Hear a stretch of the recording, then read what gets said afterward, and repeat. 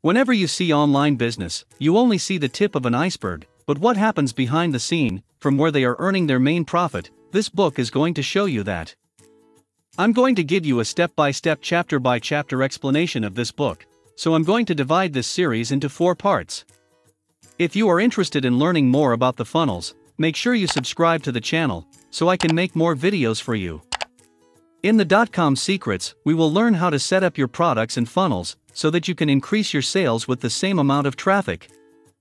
The next thing we learn from this book is how to communicate with your customers and what words to use so that they automatically step up on your value ladder and purchase a more expensive product from you.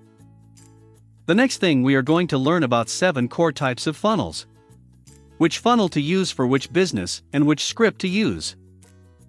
Funnels are not a new thing, this exists in the offline business for a long time. For example, if you saw an ad in the newspaper which says call this number for a free report, and when you make a call, they will deliver the free report in the parcel. But if you see carefully, it was a sales letter in the form of a free report, which will pitch you to buy their cheap product. And when you buy their cheap product, they will convince you to buy their expensive product. So funnels are not new in the business. The same things are online now. If you visit any website, you will see a pop up that says, Enter your email for a free report, free PDF, or something similar. And when you put your email, it will show you an offer which is a cheap offer. And when you buy the cheap offer, they will pitch their expensive offer. This is how online sales funnels work. Things are the same, the process is the same, but the medium is different. Direct mail replaced by email, networking is replaced by social media, TV is replaced by YouTube, radio is replaced by podcast, newspapers are replaced by websites and blogs. Secret number 1 The Secret Formula. The secret formula consists of four simple questions. If you want to start your online business, you have to answer these four questions. Once you answer these questions, your work in the future will become easier. And when you design your sales funnel, your actions will be laser focused. So, the first question you have to ask yourself is Who is your dream client? What did your ideal customer look like? What are they passionate about? What are their hobbies? What in their psychology? Which TV shows they watch? And what they like to shop for? You have to take note of these things to know who is your ideal client.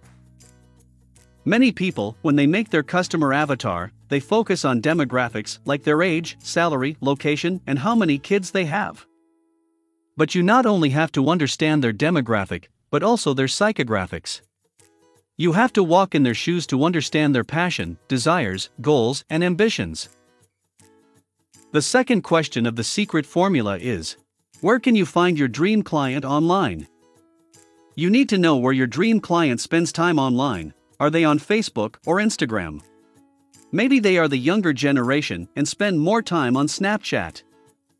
Which blog post they read, what kind of videos did they watch? You need to know all this to find out where your dream client spends most of the time online. Now, the third question of the secret formula is What bait can you use to attract them? The bait is referred to as the service that you can give them for free or cheap service that you can give your client to get their attention. It can be a free PDF, a free course, or maybe a free book. Same as the dot-com secret book, which is free to get our attention to the click funnels. And the fourth question is What results do you want to give them? It does not matter what your business, do not look at your business like a product or service provider, consider what results you can give to your dream client. Imagine your dream client is ready to pay you thousands, even millions, so what result can you give them in return? You need to understand how you can take them from point A to point B. That's it, this is the secret formula. You need to ask these four questions to yourself Who is your dream client? Where can you find them? What bait will you use to attract them? What results do you want to give them? Secret number two the value ladder. Let's take an example of a dentist. The consumer comes in for a routine tooth cleaning. Then the dental practitioner says that your teeth could be lightened a bit. So he then upsells you on teeth whitening. And after the bleaching, he upsells the retainer by stating that you might take advantage of making use of a retainer. And lastly, the dentist says that you can take advantage of cosmetic dentistry. You went to the dentist just for a checkup, and he pitched his expensive services. With each step up the ladder, the price goes up and up. Think about your company and see what you can include in your value ladder. And what is the most expensive service you want to provide to your dream client? In the value ladder, you will have only your dream client to whom you can give more value. But you say, I want more people to buy my expensive services, just by saying give me $10,000, and I will give you my best service. But why people buy from you when you have not given them any value to gain their trust? You need to design a value ladder, you need to give some value to clients as per their budget.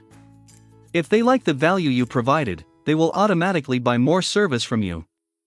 No matter what business you have, you need to have a value ladder. Now, if you ask me, how can I build a value ladder for my business? Every business has a value ladder. If you need more details on the value ladder, particularly for your business, .com's secret book have more details for that. You can have this value ladder as high as you want, there are no limits, you can offer an as expensive product as you want. Not most people will buy your product, but some people will always buy your next big product. So you need to design a value ladder and put all the valuable products or service that you want to give and charge accordingly. And only your dream client will buy your most expensive product. Secret number 3 From a ladder to a funnel. In secret number 3 is to understand the connection between your value ladder and your sales funnel and how to combine these two.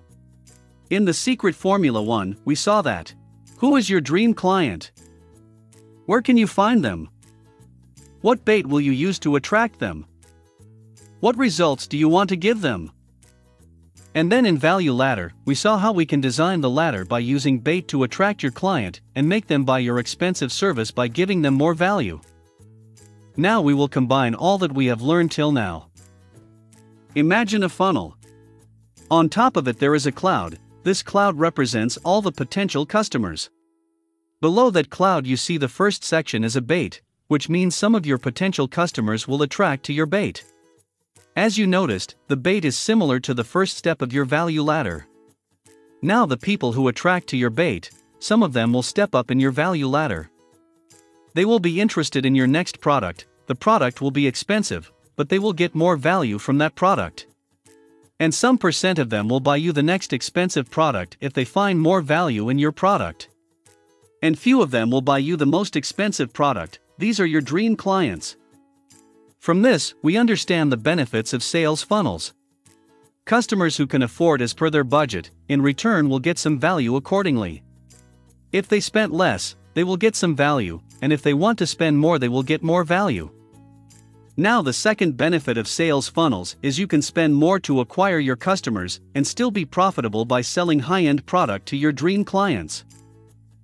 The business that can spend the most to acquire customers wins. If you take the example where you're running ads on Facebook ads and Google, where you spend $300 to show your ads to 100 people. And if only one person buys your $200 product, you spend $300 and earn only $200, you are losing money. Now imagine you have a sales funnel, and you are losing money in the front end. But from the people buying your product, some of them buy your $300 product. At this point, you are neither in profit nor in the loss. In the process, you are spending $300 and earning $300. After this point, things start getting interesting. Now, after the $300 product, you have the $1,000 product next in line. From people, you bought your $300 product may also interested in your $1,000 product. Let's assume one out of every five customer buys your $1,000 product. This $1,000 is your pure profit. Now multiply it with 100 and you will earn 100 times more. But this is not the end, you can level this up. From this customer who bought your $1,000 product may also interested in your $10,000 product, and in this step also $10,000 is your pure profit. In thousands of customers, some of them may be interested in your $10,000 product and ready to purchase it. That's why it's important to have a sales funnel for your business. You cannot able to make profits just by doing ads, and ads are getting more and more expensive day by day. The deeper your funnel, the more profit you will make. So try to design a value ladder, create a sales funnel, so you can spend more to acquire more customers. Secret number 4 How to find your dream customers. To understand this topic, you need to understand what is the congregation. Congregation is the group of people who attend a particular church. In general sense gathering of people.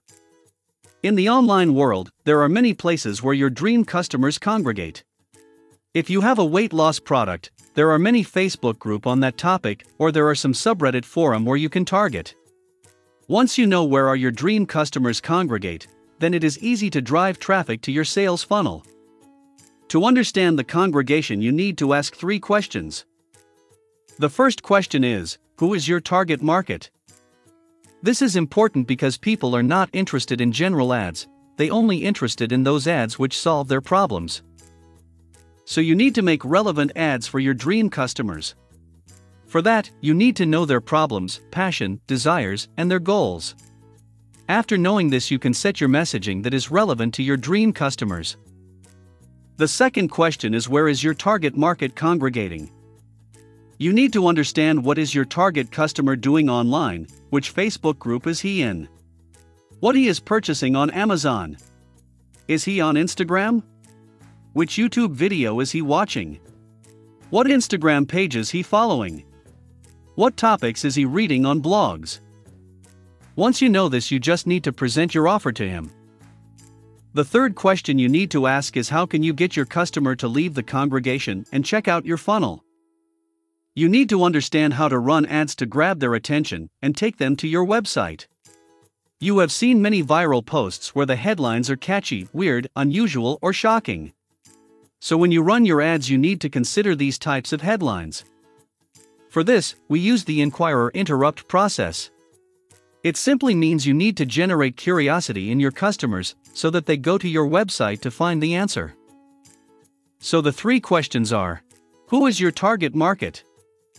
Where is your target market congregating?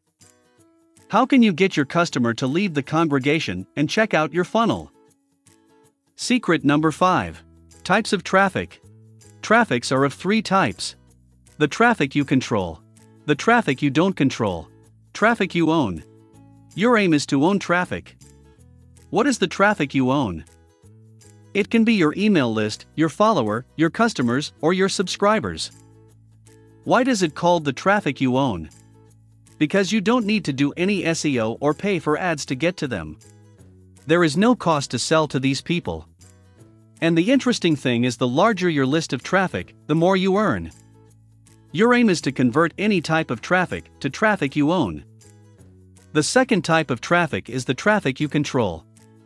This can be paid ads like Google AdWords, Facebook ads, or email ads. You can control this traffic, but this traffic is not owned by you. The third traffic is the traffic you don't control. For example, someone is tagging you on Instagram, Facebook, or any other media. So your only goal, as I said, to convert the traffic you control and traffic you don't control to traffic you own. How can we do that? With squeeze pages, which we cover in future videos. But for now, this is the first part summary of the dot-com secret book. In the next part, we will talk about what words to use, how to narrate your story to your customers, which email sequence to send, how to copyright so your customers go deep into your funnel, and many more, so stay tuned. And don't forget to subscribe, like, and leave a comment, it helps me to make more videos for you.